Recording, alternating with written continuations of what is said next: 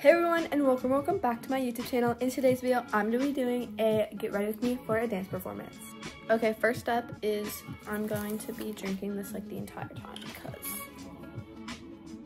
Okay guys, so the first thing I need to do is slick back my hair and I know that like you can't see my face, but I'm just gonna like maybe do a time lapse like from the back or something.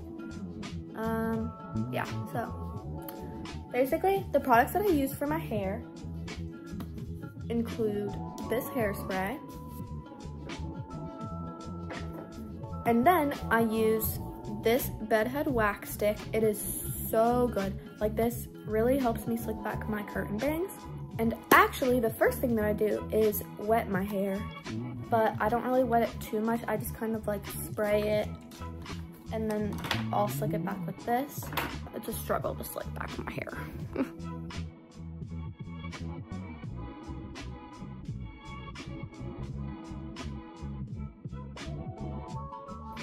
okay guys, I actually slicked my hair back pretty fast.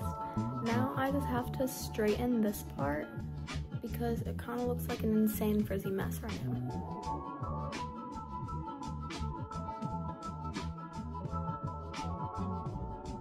Okay guys, I just finished straightening out my ponytail and now I'm about to go downstairs and get some dinner before my show and I'm gonna have pasta, so yeah. Okay guys, I just finished eating my pasta and now I'm about to do my makeup. So basically for my makeup, I just have to do like some concealer, mascara, lipstick, blush, but I'm not doing my lipstick until I get there, so yeah. Okay guys, so for my makeup, for my base, I'm going to be using this e.l.f. Halo Glow. And then I forgot to tell y'all, but I'm gonna put on this moisturizer. And this really helps, like, not just for, like, a nice base of it, but, like, because I have, like, hairspray around the edge of my hair. So, like, it just will, like, get that off.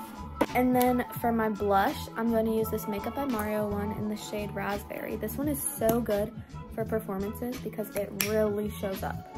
And then for my highlighter, I'm gonna use this Rare Beauty one. And then for my mascara, I'm gonna use these two, but I'm also gonna put on more when I get there because I need my lashes to be lashing. But that's all for my makeup, so I will check back with y'all when I'm all done.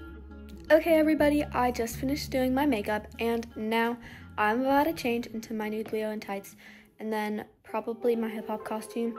So yeah, I will see you in one second. Okay guys, I'm not in my full hip hop costume because I have like another shirt to put over this, but I am all done for now.